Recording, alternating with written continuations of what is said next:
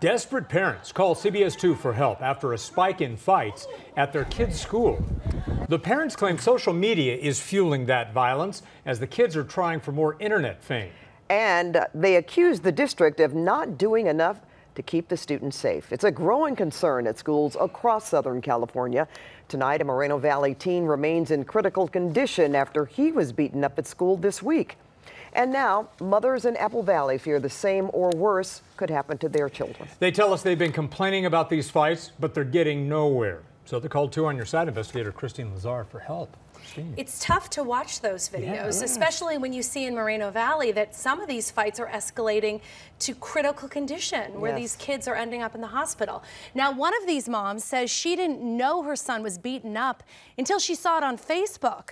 The district says these fights are rare, but several students at one Apple Valley High School tell me these fights happen almost every week.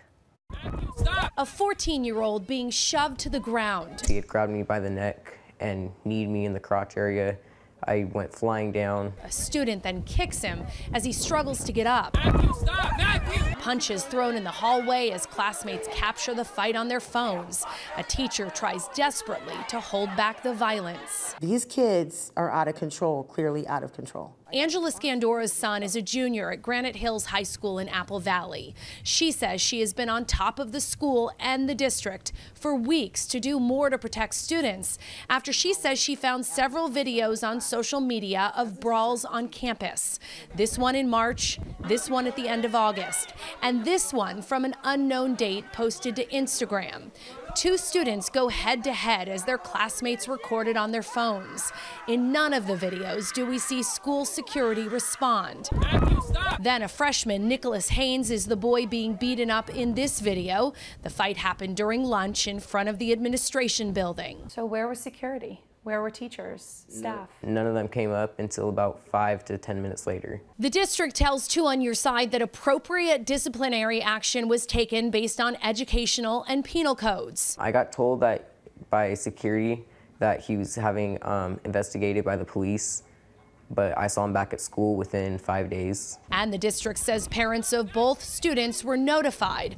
But Nicholas's mother, Michelle, says she only learned of the fight this week when someone tagged her in a post that included the video on social media. The district says that the parents were notified. Nope. Michelle says she regrets that she wasn't able to comfort her son until six months after the fight occurred. I apologized to him. I said, I am so sorry. I felt like a failure as a mom. Angela says her son narrowly missed being hit in this video. She says after it happened last month, she started scouring social media for more videos and found this one. Video of a teen identified as a Granite Hills student pointing what appears to be a semi-automatic firearm at the camera. I was scared to death. I was uh, like in disbelief. The district says they've confirmed that it was actually an airsoft gun, but that doesn't matter to Angela. She says violence seems to be glorified at Granite Hills. YouTube to get more subscribers, to get more likes, more comments, to be like stars. The district did release a statement to us. It reads in part, every threat, whether it be verbal, written, or on social media, is taken seriously and is investigated immediately and thoroughly. Action is taken when a threat is determined to be credible, including going to the child's house, checking for any sort of guns in the home, and if they have to, they say they'll issue a search warrant. But the parents say we really need to be more preventative sure. so that this doesn't happen in the first place. And that includes taking issues of bullying more seriously and getting to the root of the problem so it never never escalates to that. And get them yeah. off Facebook.